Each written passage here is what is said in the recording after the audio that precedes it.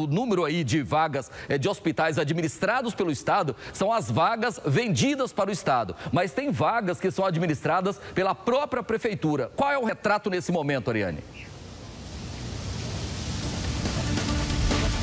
Exatamente, Aloares. Além disso, ainda tem aquela taxa também das UTIs particulares, né? Que já está ali passando os 90% de ocupação. No caso das é, UTIs que são administradas por Goiânia, pela Prefeitura, hoje nós temos um dado aí de 76% de ocupação. Nós vamos conversar agora com a diretora epidemiológica de Goiânia, é, a Grécia Pessoni. Boa tarde, Grécia. Explica para a gente, por favor, hoje qual é a realidade em se tratando de UTIs de Goiânia, contaminação e o tratamento dessas pessoas que estão sendo levadas para UTI? Bom, hoje a gente tem aí uma porcentagem de 45% das pessoas que internam, né? 45% elas precisam de UTI.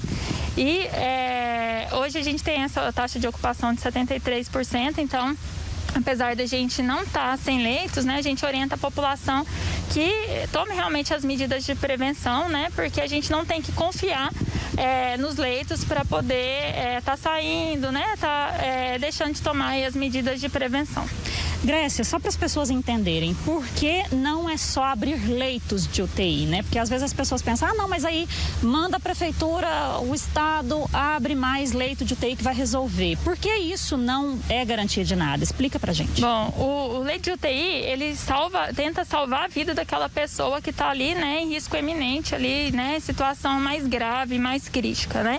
Mas o ideal mesmo é que a pessoa, né, ela, ela tome as medidas de prevenção para evitar até mesmo de ter a doença doença. E não há números de leitos suficientes, né, que dê conta de uma pandemia, né? A Secretaria de Saúde, ela tem feito todo o esforço, né? Até hoje, né, nenhum paciente ele tem esperado aí mais de um dia, né? E o secretário de Saúde tem mantido esse esforço para que não, não demore nem quatro horas, né? Mas isso, é, mesmo que o paciente consiga a sua vaga, para a família é muito angustiante você ter uma pessoa ali, né? Então não é só isso que vai resolver. Então tem todo o tratamento, muitos pacientes eles podem apresentar sequelas aí depois de uma internação, né?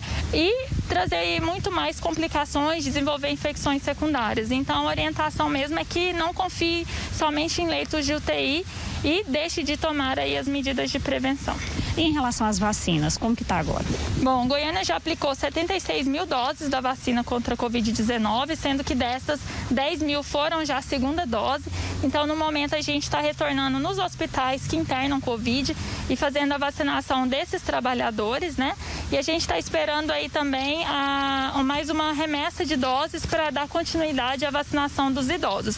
Então, há uma perspectiva de que Goiânia receba mais doses ainda essa semana, mas ainda não sabemos o quantitativo. Mas assim que receber, a gente daremos, nós daremos continuidade à vacinação dos idosos. Ah, então a vacinação ela continua sendo dos idosos. Existe alguma possibilidade de ser estudado um novo planejamento de vacinação ou não? Não, enquanto a gente não terminar a vacinação dos idosos, né, a perspectiva é que não abra para outros grupos, porque de fato é o grupo que mais tem ido a óbito. A gente continua vacinando os trabalhadores, mas agora com a segunda dose da vacina dos trabalhadores da linha de frente e também dos pacientes que são acamados. Obrigada pela sua participação, Lores. E lembrando que depois que a pessoa sai, as pessoas que são internadas em UTI, já existe uma pesquisa, né, que mostra que 25% dessas pessoas que saem da UTI, que conseguem é, curar ali da Covid, elas estão morrendo por conta das sequelas que a Covid-19 tem deixado. Então, é aquilo que a gente volta a falar. O melhor mesmo é não se contaminar por essa doença. Volto com você.